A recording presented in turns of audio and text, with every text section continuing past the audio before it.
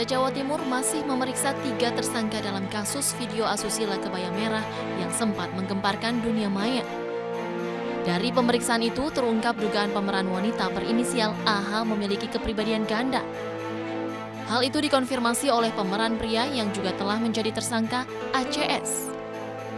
Menurutnya, AH bahkan memiliki 31 kepribadian dengan nama dan perilaku berbeda-beda. Beberapa nama yang digunakan antara lain Clara dan Luna.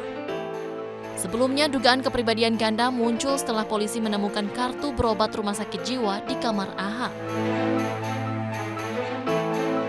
Informasi yang kami terima dari penyidik bahwa yang bersangkutan ini memang merupakan uh, seseorang yang mempunyai kepribadian ganda.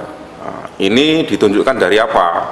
Hasil penggeledahan di tempat yang bersangkutan atau di tempat uh, singgah yang bersangkutan ditemukan ada kartu kuning dan beberapa faktur-faktur uh, tanda berobat di salah satu rumah sakit yang ada di Surabaya. Untuk memastikan dugaan kepribadian ganda AH, polisi masih menunggu hasil tes kejiwaan dari Rumah Sakit Bayangkara, Surabaya, Jawa Timur.